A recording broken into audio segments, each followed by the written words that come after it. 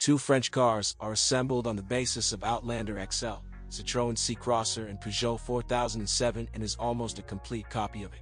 They were presented at the Geneva Motor Show in July 2007, entered the market in Germany in September 2007. Peugeot 4007 was produced in Russia at a car factory in Kaluga.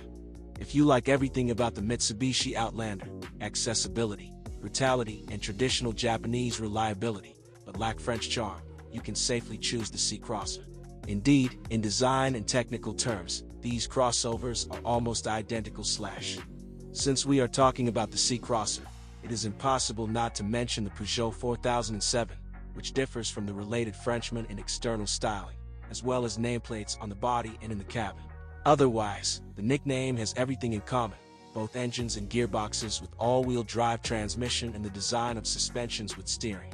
The new French clones cost a little more than the Japanese donor.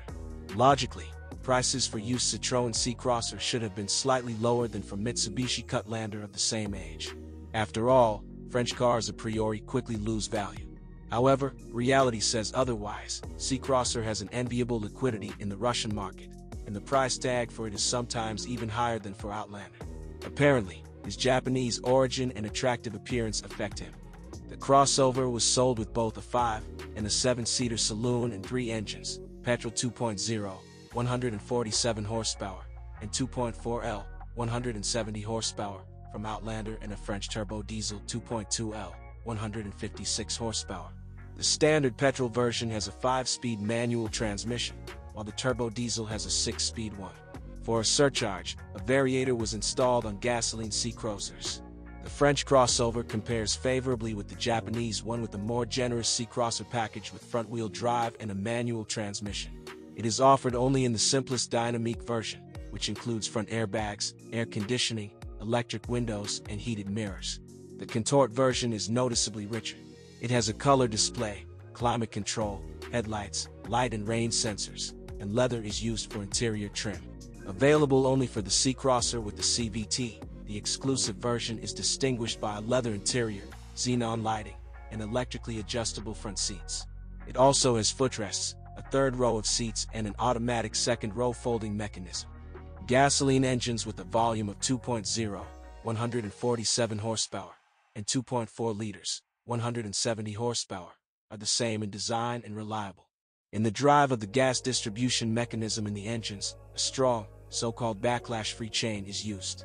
Service life is calculated for the entire life of the unit.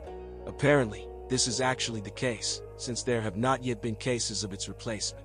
The engines do not have hydraulic valve compensators. They are regulated by the selection of washers. This operation will be required only after 100,000 kilometers or even later. Specialist.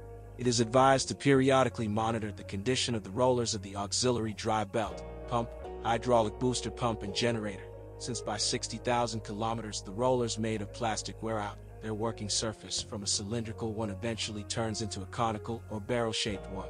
In the end, the belt slips and jumps off, though in most cases this happens without serious consequences for the engine. Replacement will cost 16,000 rubles. Most of this amount will be given for spare parts. You can save money. The parts bought in the store are about a third cheaper than those of the officials. It is more expedient to perform the work at specialized service stations. Turbo diesels with the common rail power system are very reliable. After four to five years of operation, it will be necessary to preventively update glow plugs, 1900 rubles and more. And in order not to spend money on new injection nozzles, they should be periodically washed with a special liquid. The durability of the fuel pump directly depends on the quality of the fuel, so it is better to refuel at proven gas stations. BMCP to 150,000 kilometers will have to change the bushings of the backstage lever. The Aisin CVT variator in the early versions, due to the irreversible wear of the pressure cones, twitched and worked noisily. Officials changed the box under warranty. After making changes to the design of the variator in 2008, there were no serious problems with the variator. All-wheel drive transmission Citroën C-Crosser is reliable. It can operate in three modes, 2WD, front-wheel drive, 4WD, all-wheel drive, and lock. In the latter case, the center clutch is forcibly blocked, thereby providing more confident movement on light off-road conditions. There are almost no weak points in the transmission, except perhaps an outboard bearing, which wears out after 100,000 kilometers. True, it changes along with the cardan shaft. At dealers, the part costs about 75,000 rubles, and the cardan ordered from the Emirates is half the price. 8. Fully independent suspension of the Citroën C-Crosser.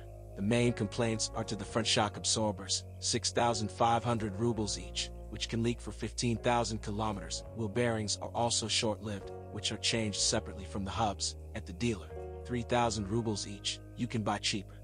Racks, 1,100 rubles each, and bushings, 540 rubles each, of the stabilizers take care of the 100.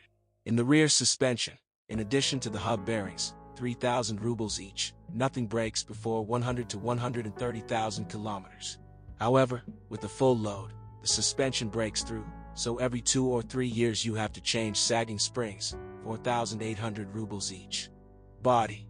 It does not lend itself to corrosion, and the paintwork, like that of the Japanese, is weak.